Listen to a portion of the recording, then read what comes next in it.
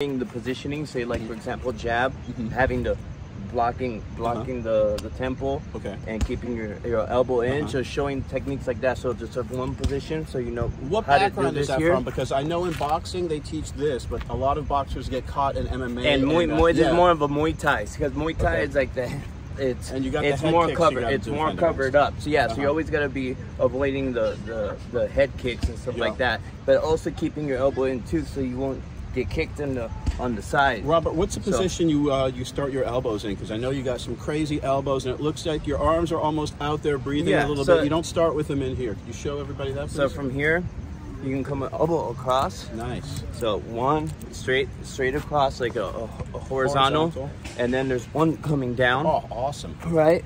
Nice. And then there's one coming forward, Uh-huh. you know. And what's another one? And then uh, here, boom. And as you do this, you take a step forward Nice. into it. You know? stepping with the front Yeah. foot. The rear With foot the stays in the same position. The Right. front foot steps in Yeah. and then steps back out. Right. Nice. And you can't really see the the footing here, obviously, but um, you're on Muay Thai. You're you're tend you're having a heavy leg, and your front leg is more lighter Uh-huh. on your feet. You know, so so your your your back leg is ready to. So it's a trip. I haven't Uh-huh. haven't taught in a minute, so this is good. It's So- interesting you say that because that is the classical Muay Thai stance. Right. You've all, almost sometimes they, they hang out with their knee up high Right, like so you this. always want to be protected. So that's why you're heavy. You're a heavy leg on the back On leg, the rear leg. You're right? sitting all and your then, weight on the the, rear leg, top really, and yeah. the front leg. You're you're on the ball of your feet. You know, so they're very relaxed in its movement. Versus a boxer, you're constantly like going back. It's more springy.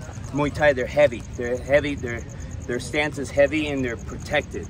You know, so they and they're not take- bobbing and weaving as much, right? You No. rarely, like maybe Yeah. once or twice in a Muay Thai match, you'll see them No. roll under a punch, but most of the time they're keeping No, most of the time they're taking it and then just following right back. I don't know they're if you guys at home just saw Kamaru Usman, one of the greatest of all time, who has a boxing background, went up against Leon Edwards, and he fell for that thing that um, uh, TJ Dill- Dillashaw does, and a lot of really good fighters do. They throw that one, two, three, and then they they follow up. It looks like they're throwing a hook, but instead they follow up with a kick.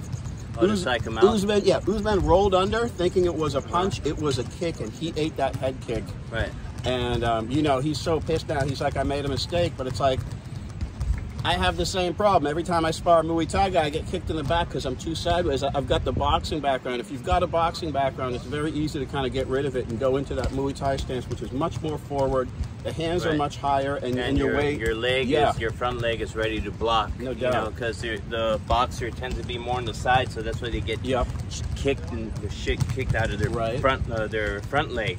That's why the Muay Thai guys they tend to be with their uh, forward uh, with their front foot forward, so they can be ready to be like blocking up or to the side. But if you're here, Mm-hmm. it you you're too much. It's too much energy to like to get that uh, to turn and block that Benny the Jet. There were a few people who could do it out of the bladed position, and I can't do that though. Who could stay very sideways and still check the kicks, but Yeah. not a lot of people can do that. It's much easier if you're 45 Where you're already there. Or, or already, Yeah. you know, all you have to do is lift them up in that position, and much The- easier. The the negative side of things if for a boxer to get with uh, Muay Thai guys with the front here they have they can get them with the uppercut. So that's that's that's the thing they, they they with boxers it's easier to avoid that. But with the Muay Thai guy when they have when they have that stance right there uh, if a good boxer can come in and do the uppercuts and they get they usually get hit a lot. Muay Thai guys don't know how to evade from a good boxer, they'll get hit with the uppercut a lot from what I've seen. Hmm. You know, so It's it's so hard to land against a good boxer or rear uppercut. I think I've actually landed one in sparring in 20 years. I was working on it so much with my coach. We weren't just slipping to the side; we were dipping and going in and throwing uppercuts. And I was such an idiot at the time. This was at a, a gym in Boston. I didn't know how to spar. I literally thought sparring meant you tried to kill the guy. And I was Yeah. in there with this kid who was a pro fighter who was very nice to me. Probably could have knocked me out. And the first move, he threw a jab. He probably thought he was Yeah. going to do like light controlled Uh-huh. sparring. I came in there, I dipped forward, and I ripped so Right. hard that uppercut that it's literally there's still blood on the ceiling. And he was like, I'm sure he could have knocked me out. He was just being nice to me, like, who's this idiot kid? So whoever that guy is over at Y Crew, thank you for not knocking me out, for, for being an arrogant asshole. But other than that, I don't think I've even ever landed a rear uppercut in sparring. They're hard to land. They're it, hard to it, land. it depends who who you're getting a lot of people who cover up, and if they Uh-huh. know they're covering up, you can pepper them with jabs, and then see the opening, and then come in with the uppercut. You know, Nice. it depends on the type of uh, style you're going I, against. I've I've gotten lucky with the shovel hook. That's my shot. That's my go-to KO shot. I, I, I can jab and then shovel hook, or pull a bunch of head feints, or you know, kind of like step with the punches and then pull a shovel hook. But that's that's been my lucky punch.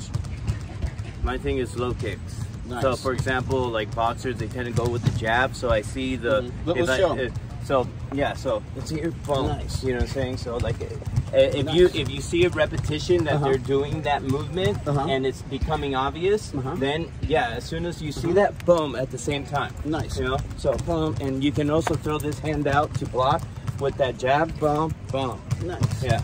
Big break.